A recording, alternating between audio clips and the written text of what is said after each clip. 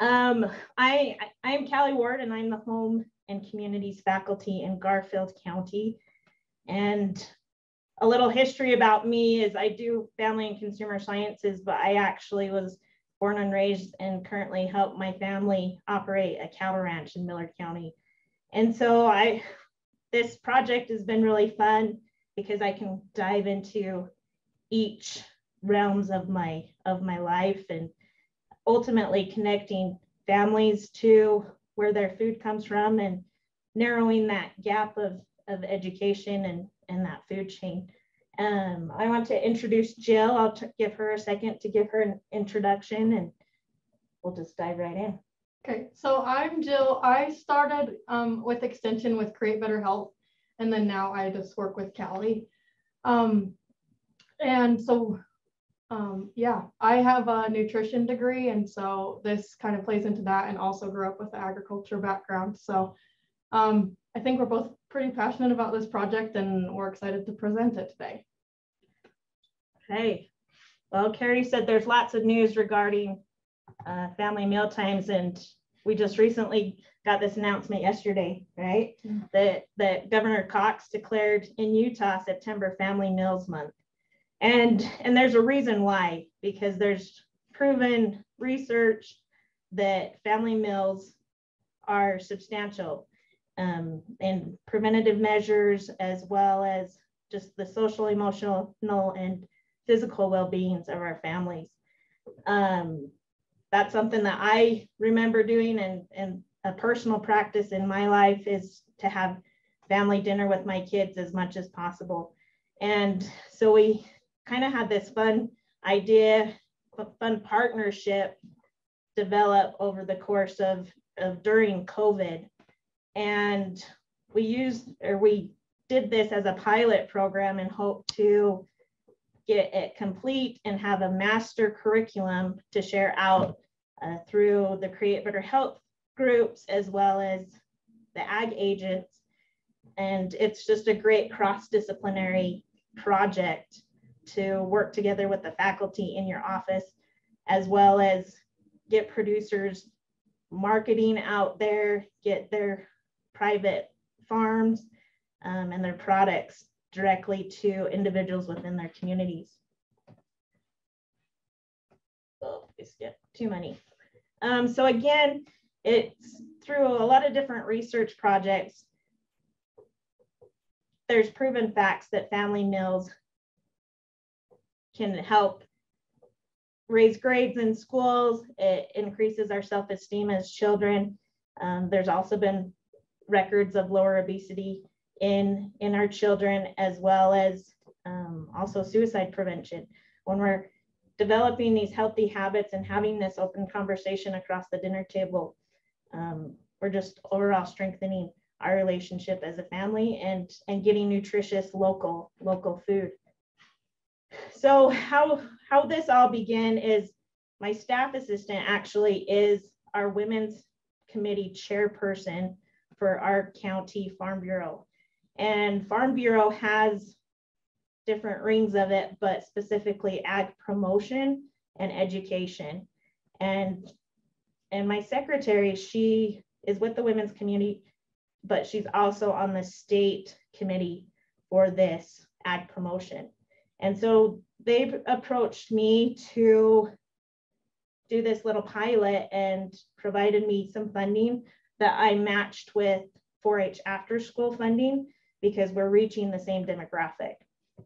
And under my 4-H after school programming, we are always encouraging family bonding as well as family engagement activities and during COVID, we weren't able to do a lot of face to face. And so we came up with this plan for the virtual family dinner project.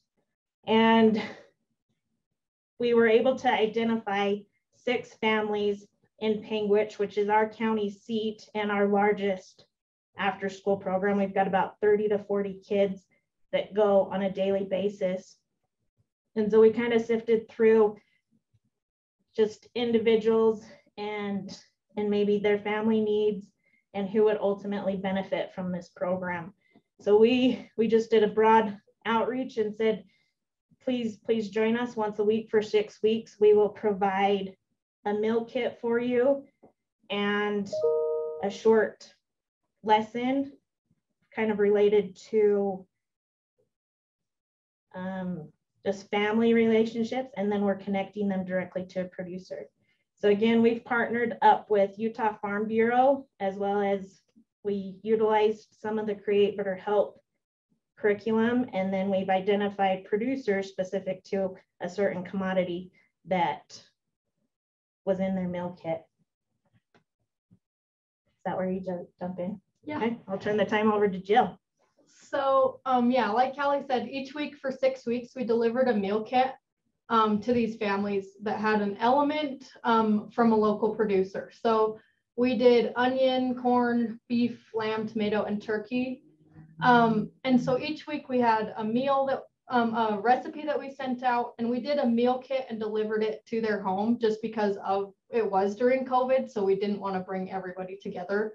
Um, that would be kind of ideal if we could get everybody in one place with a producer, but because of COVID restrictions, we just opted to do the Zoom meeting. Um, so we did, um, and then on the Zoom call, we had the producers that presented um, just kind of a little bit about their particular program. Um, so example for beef, we had a local producer um, who just shared some facts about beef and then more about like his family's program and kind of what they they do and look for. And then um, the kids were able to ask questions and kind of go through that. And then each um, Zoom meeting also had an element from create, either Create Better Health's Family Meals program, or um, we also worked off of the Family Dinner Project um, has a lot of information about the benefits of family meals. So we use that um, as well. And, and specifically, um, I called on our resident sheep producer, Josh, Josh Dallin. Um, and when he produced, or when he had his producer time, we gave him about 15 minutes. I, I said, just talk about your production.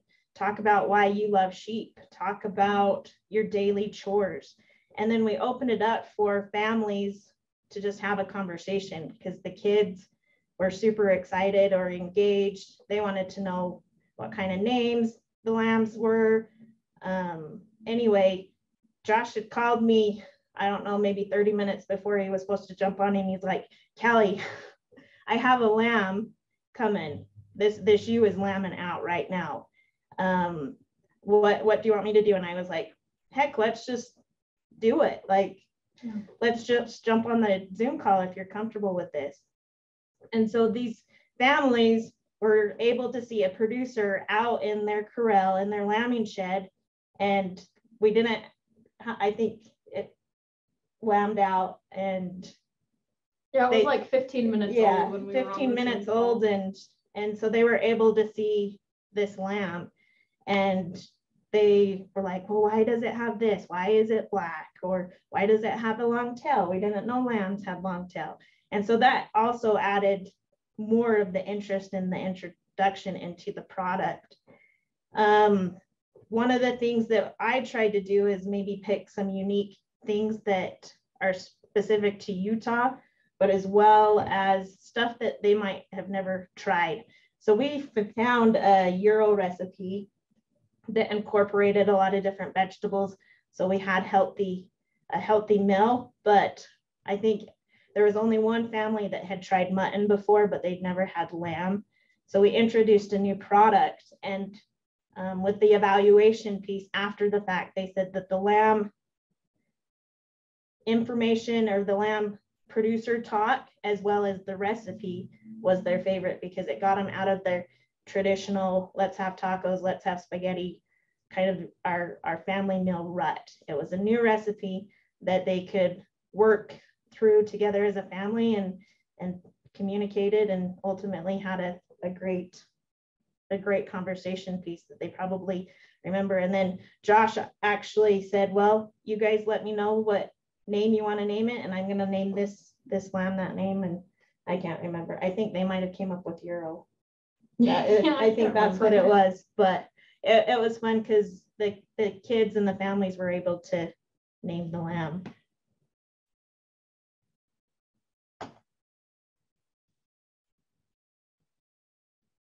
So yeah, kind of going off the meal delivery kit and everything, um, families were able to cook dinner in their own home, which provided a unique element here um, as, as the facts were laid out for Governor Herbert or Governor Cox's um, declaration of family meals. Um, spending time together as a family, cooking dinner together, um, having a place where kids feel like they can talk to their parents about whatever they're going through.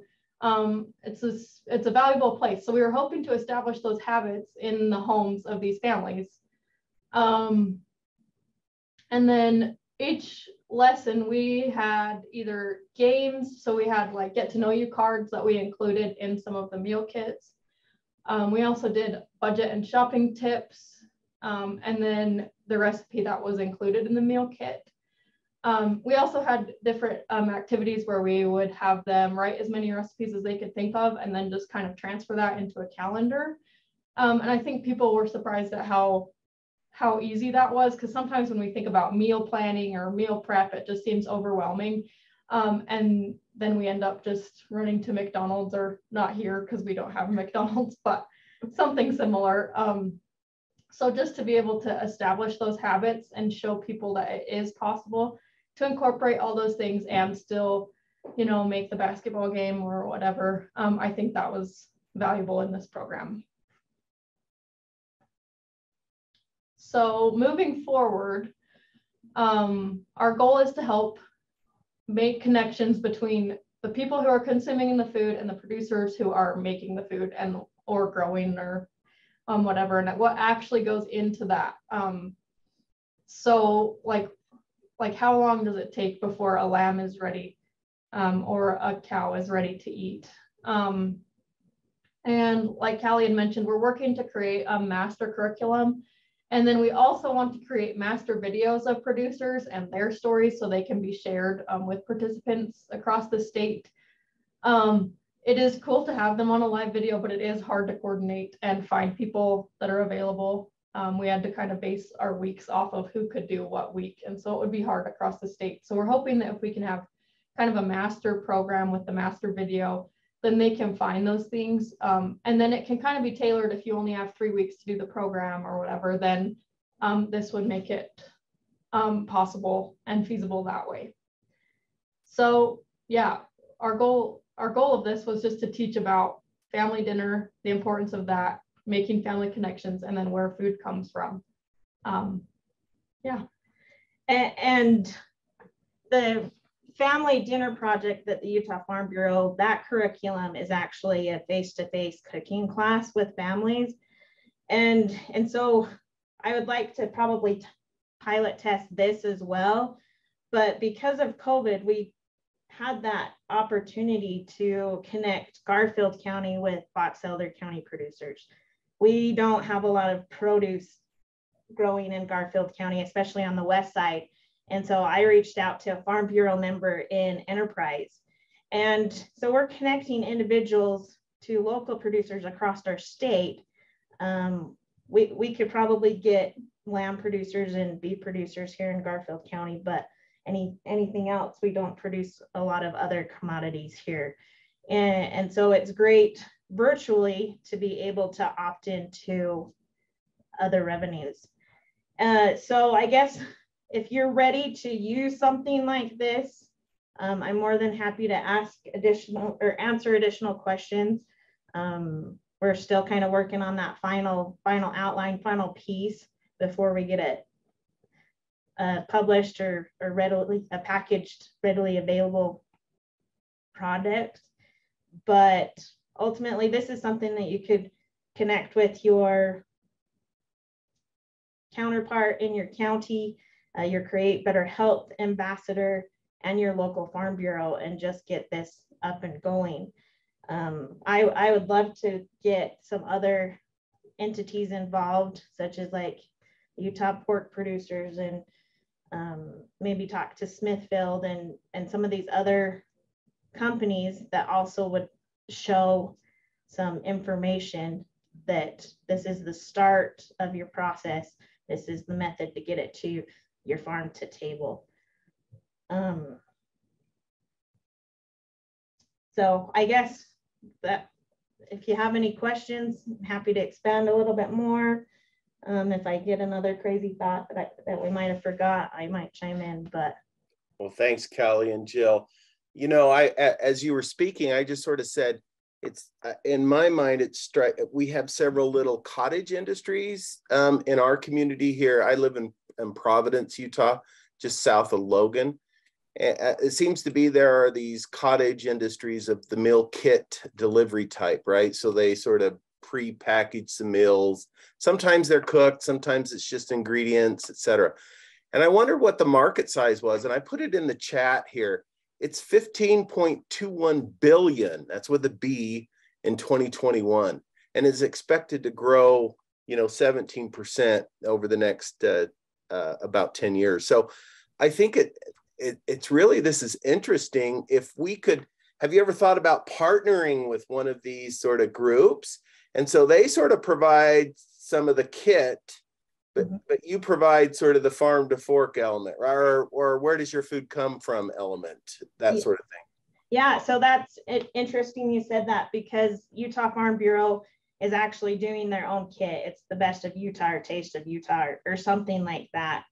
And so we've been in in communication with them to continue this because they they kind of are they've taken this from their Farmers Feeding Utah kind of design, as well as this virtual family dinner project and meshing those two. Um, so how can we get food direct to consumers? And so I, I've seen a couple of them. I haven't purchased any, but they've got the salsas or the meats or the, the honeys. And so if we can continue this partnership of here's a, a card that and that's kind of the the videos that Jill talked about these master videos of producers it'd be like this honey came from White Lakes Farms in Genola, Utah and then it's got a QR code where they can scan it with their phone or pull it up on a computer and it's got a quick little 4 minute video of of White Lakes honey farm and they're like oh that guy's name is Adam and he's been raising bees for 27 years and he grew up here but I can connect with him now. And then also we would add that create better health or that family meal um, element to it of how do you do meal planning or some conversation pieces. And then I guess we didn't talk about this, but there's actually follow-up questions of you make your meal together, but now what can you talk about on the, the dinner table? So what was your favorite part about watching Josh in the lambing shed? and that's a conversation starter at the dinner table. What was that guy's name from Enterprise? What was the produce that he he grew? We're eating some of his tomatoes right now. Um, so that that is also something that's kind of evolved from this project, and I hope that we can continue this this relationship with with Farm Bureau and continue to do the ag promotion piece.